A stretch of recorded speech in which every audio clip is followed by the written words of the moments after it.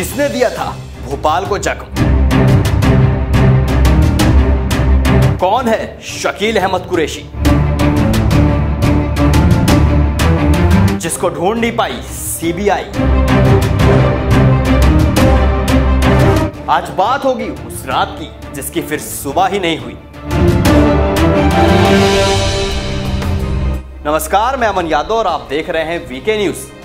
वो काली भयानक रात जिसकी फिर सुबह ही नहीं हुई। चैन की सांस ले रहे लोगों की सांस उस रात उखड़ गई। सुबह जो तस्वीर सामने आई, वो आज तक भुला ही नहीं पाए। उन तस्वीरों को देखकर आज भी रूह काँप उठती है। भोपाल गैस कांड को बीते हुए 36 साल हो चुके हैं। ये वो भयानक घटना थी जिसका ज़िक्र होते ही लोगों का दिल सिहर उठता है।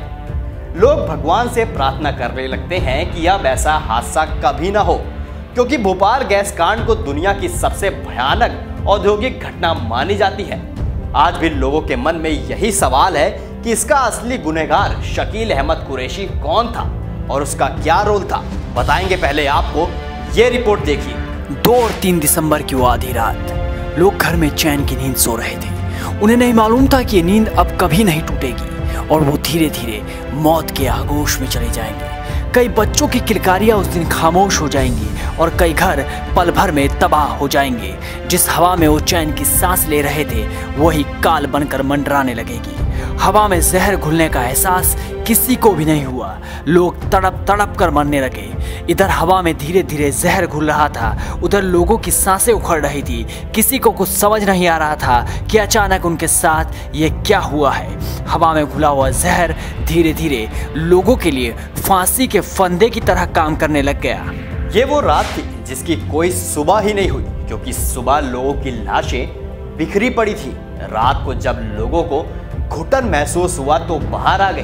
उन्हें नहीं मालूम था कि बाहर मौत उनका इंतज़ार कर रही थी। इस त्रासदी में सबसे ज़्यादा आसपास की झुग्गी झोपड़ी वाले लोग मारे गए और आज भी इन लोगों को इंसाफ नहीं मिला था।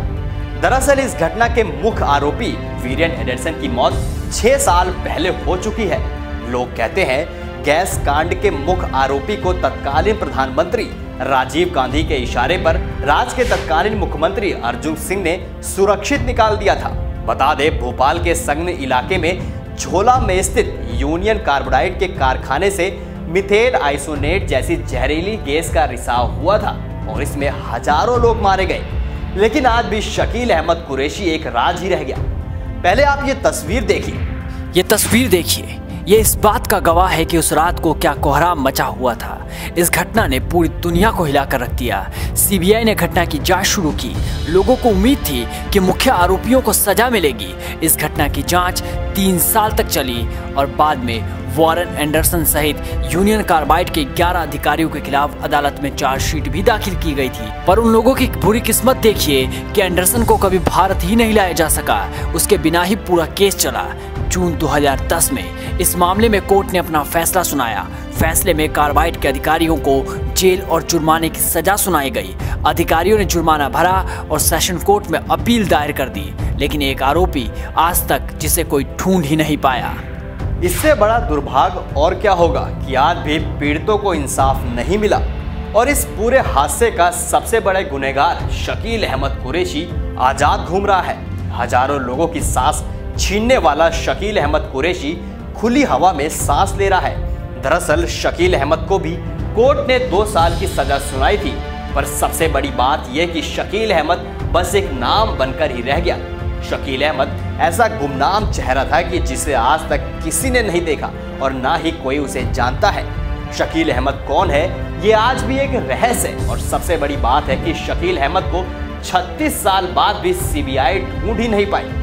जिसने सबकी तस्वीरों पर माला चढ़वा दी थी। उसकी ये तस्वीर भी सीबीआई के पास नहीं है। बता दें, Shakeel Ahmed Qureshi MI production unit में ऑपरेटर था। कुरैशी कभी भी सामने नहीं आया और ना ही मामले का खुलासा हुआ। यानी कि आज भी पीड़ितों को पूरा इंसाफ नहीं मिला है और उनके इंसाफ की उम्मीद भी अब समय के साथ साथ खत्म हो चुकी है और उन्हें कभी भी इंसाफ नहीं मिल पाएगा। आज की रिपोर्ट ने बस इतना ही। आगे आप तमाम बड़ी खबरों को देखने के लिए देखते रहें वीके न्यूज़